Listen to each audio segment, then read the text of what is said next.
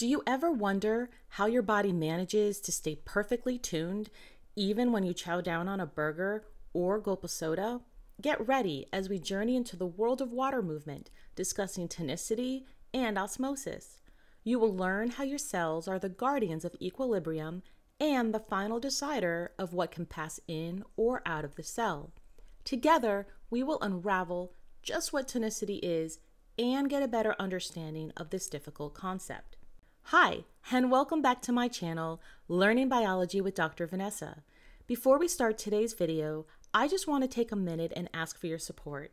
If you are finding value in these easy to understand biological videos and want to ensure that they keep coming your way, I encourage you to become a part of our community by hitting that subscribe button.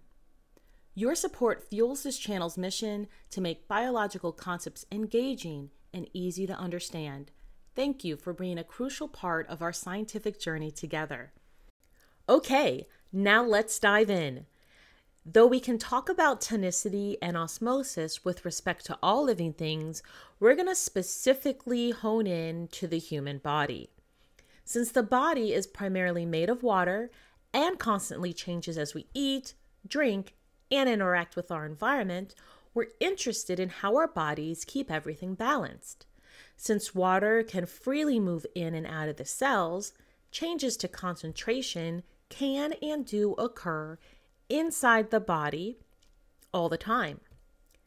If we think of water movement in terms of keeping homeostasis or maintaining that balance, it may make this lecture a little bit easier to understand.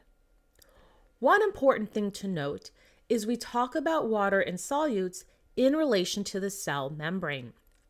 If you remember from biology, if you've ever taken a biology class, you learn that the cell membrane is what we call semi permeable. So think about that cell membrane. It's the membrane that surrounds every cell in our body. It is semi permeable. That means that only certain things can flow in and out of the membrane, and some things are more regulated than others. What that means is that things can't just go in and out of the cell because they feel like it. However, water is one of the things that can easily flow in and out of the membrane. So while things like salts and sugars, like glucose, are regulated coming in and out of the cell, water is able to freely move in and out. And that's why we talk so much about water because water can change concentrations inside and outside of the, of the cell as it moves.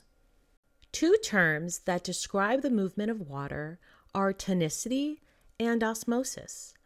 The movement of water across the membrane that we just talked about is referred to as osmosis. Water moves freely in and out to adjust concentrations inside and out of the cells. Why? Because the cells in our body want to maintain homeostasis or equilibrium. Now, which way does water move? Water moves from higher concentration to lower concentration. With that said, water moves from higher concentration of water itself to lower concentration of water. So get that straight because you're going to want to remember that as we go through the next set, which is tonicity. Tonicity is the ability of a solution to affect the volume and pressure in a cell. And we can describe that solution in three different ways. It could either be a hypotonic solution, an isotonic solution, or a hypertonic solution. Now, what does that mean? A hypotonic solution has a lower concentration of solutes than inside the cell. A isotonic solution, the concentrations both inside and outside of the cell are the same. And then in a hypertonic solution, the solution has a higher concentration than inside the cell itself. Let's take a closer look at each one of these solutions and how they'll affect the cells themselves. We'll start with an isotonic solution because it's the easiest one to understand. In an isotonic solution, the concentration in the solution that is outside of the cells is the same as what is inside of the cells. So for our example, let's just use saline and let's just use normal body saline, which is 0.9%. So we'll say that within the cells, it's 0.9%, and outside of the cells, it's 0.9%. So if the concentration is the same inside and outside, basically we've reached equilibrium and there is going to be no movement of water at all. So of the three, this is the easiest one to understand because in an isotonic solution, there will be no movement of water as the inside and outside of the cell will be the same concentration or equilibrium has been reached. Now, my example has sodium chloride. This could be sugar, this could be potassium, this could be other types of solutes that are there, um, but the inside and the outside would be equal to one another. That would be an isotonic solution, no movement of water. So, what about in a hypertonic solution? In a hypertonic solution, the, the solution outside of the cell is going to be more concentrated than inside of the cell. For our examples, let's just stick with 0.9% saline within the cell itself. And we're going to make the concentration of the solution outside of the cell higher. Let's just make it 5% saline. So in a hypertonic solution, the solution outside of the cell is going to be higher than inside of the cell, higher concentration.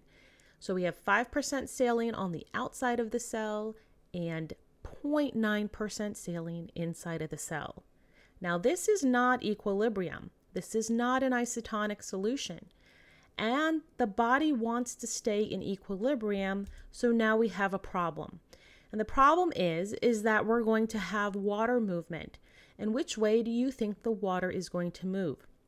Remember, water is going to move from a higher concentration of itself to a lower concentration of itself. Why? Because it wants to create equilibrium. So if the cells inside have 0.9% saline and outside is 5% saline, then water is going to move from the inside of the cell to the outside of the cell because there's more water inside of the cell than there is outside of the cell. So water is going to move from the inside of the cell to the outside of the cell. If a little water movement happens, this isn't a bad thing. But if a lot of water would move out, like in this case, then what's going to happen is the cells are going to shrink. And when they shrink too much, then those cells will die because they're not going to be able to do their normal job. So, in a hypertonic solution, because the water is going to move from inside of the cell to the outside of the cell, it causes the cell to shrink. Now, let's talk about our final solution, which is a hypotonic solution. In a hypotonic solution, the solution outside of the cell is less concentrated or has a lower concentration than in the cell itself. So again, we'll stay with 0.9% saline within the cell, just like our other examples. But this time, the solution outside of the cell is going to be less concentrated. So let's just make it 0.1% saline. So outside of the cells in our solution, we have 0.1% saline. Inside of the cells, we have 0.9% saline. Again, this is not equilibrium. They're not the same inside and outside of the cell. The body wants to reach equilibrium. The concentration of water is now higher on the outside of the cell. Guess which way water is going to move this time to try to reach equilibrium?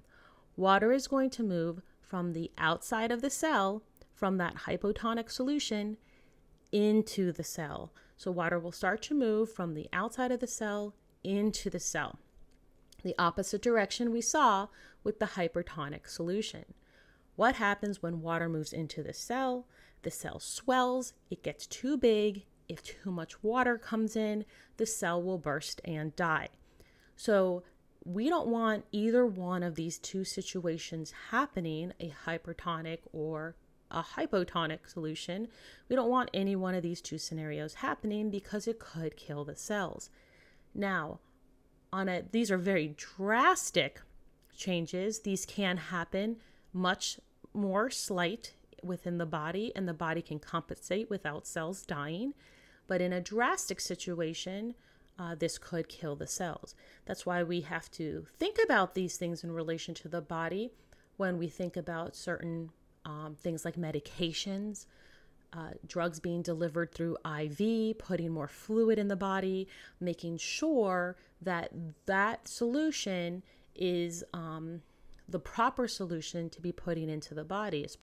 If you're a teacher or professor and enjoyed my explanation of tonicity and want to help enhance your students' learning, I've created a worksheet to delve further into this and you can find it on Teachers Pay Teachers. I will put the link in the description box below. Also, if you enjoyed this video, don't forget to like it and subscribe to my channel. And please make sure to put any comments or questions in the comment box below, including any video topics you may want to see in the future. Thank you.